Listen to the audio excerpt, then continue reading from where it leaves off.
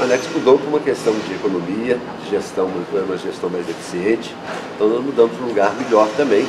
E com isso tivemos uma economia em torno de 20% e economia mês e em torno de 50 mil, aproximadamente 50 mil reais ano. O aluguel aqui hoje tem em torno de 14.500 reais. Antes era em torno de quase 20 mil reais.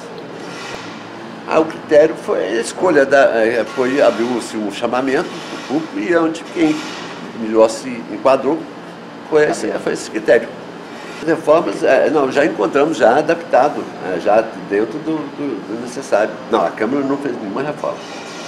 Foi o proprietário do imóvel que fez as reformas, se adequou para o lugar. Ah, ele foi desativado, a piscina, onde a churrasqueira passou a ser uma sala de acessibilidade, todos vocês podem depois filmar, a sala está aqui próximo. E aqui a gente atende maior camada, é, o público é, gente, ah, o centro tem muita dificuldade, né? É, o centro a gente tinha muita dificuldade de estacionamento também. O verão era muito complicado no centro. A acessibilidade está maior na, região do Itabecuçu aqui, a acessibilidade é bem maior. Ah, é o que eu te falei no começo aqui, a gente tem uma economia de 20%. 20%?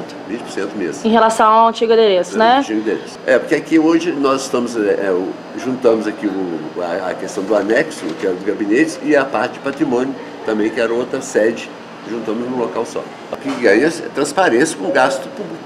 A gente está tendo é, uma boa gestão do, dos serviços públicos que está sendo feita.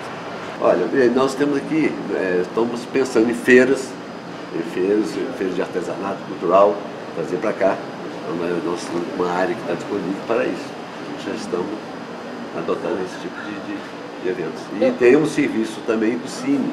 Nós temos uma sala aqui que está sendo oferecido para o Cine, para ele vir para agora para ir.